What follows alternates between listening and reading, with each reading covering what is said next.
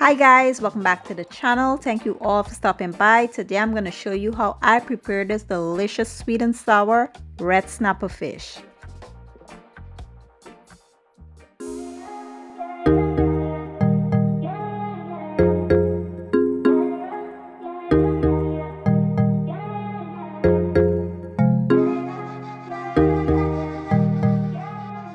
Alright guys, now let's go ahead and take a quick look at the ingredients. Today I'll be using two fresh red snapper.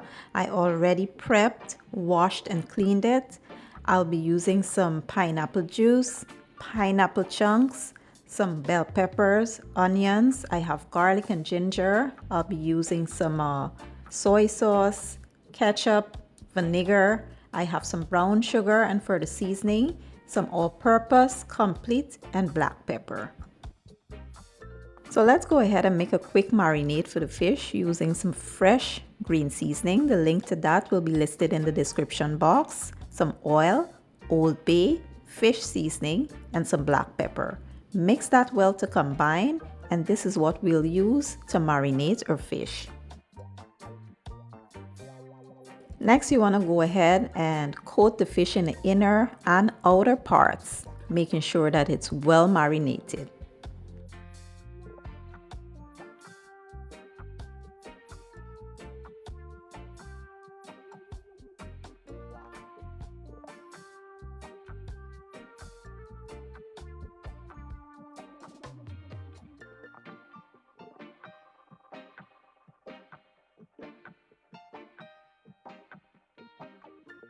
Once we're done, you want to cover and allow to sit for about 20 to 30 minutes.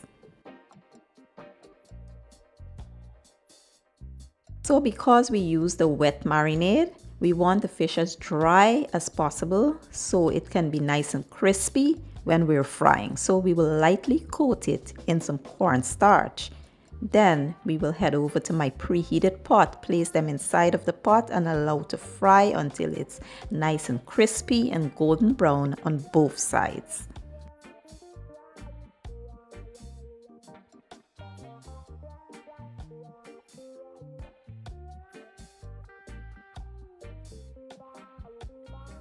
Once the fish is fully cooked and it's nice and crispy, you want to remove and set it aside. Now to the same pot, I did remove some of the oil, leaving just a little bit, and we'll go in with our aromatics. Mix well and allow to go for about 2 to 3 minutes. So at this point, you want to add the rest of your ingredients. The pineapple juice, pineapple chunks, you want to add your soy sauce, ketchup, vinegar, your brown sugar, and the seasoning. Mix well to combine and allow everything to come up to a simmer.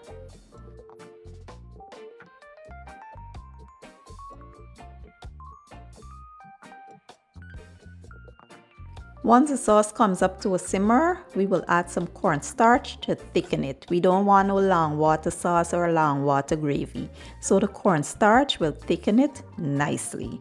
Once it has thickened, we will now add our fish back into the pot.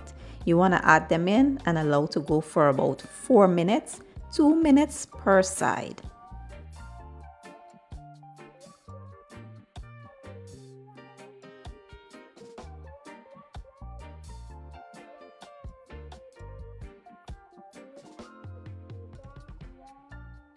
And that's how simple and easy it is to make sweet and sour fish. You can actually use any fish for this recipe. It doesn't have to be red snapper.